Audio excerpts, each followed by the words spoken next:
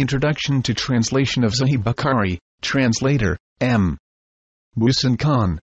Sahih Bukhari is a collection of sayings and deeds of Prophet Muhammad peace be upon him, also known as the Sunnah. The reports of the Prophet's sayings and deeds are called the Hadith. Bukhari lived a couple of centuries after the Prophet's death and worked extremely hard to collect his Hadith.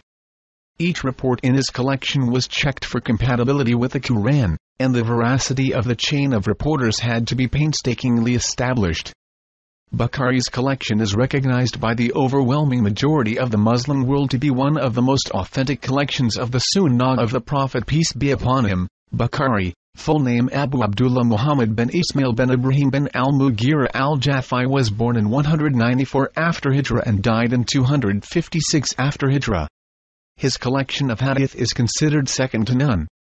He spent 16 years compiling it, and ended up with 2,602 hadith. 9082 with repetition, his criteria for acceptance into the collection were amongst the most stringent of all the scholars of hadith. It is important to realize, however, that Bukhari's collection is not complete, there are other scholars who worked as Bukhari did and collected other authentic reports.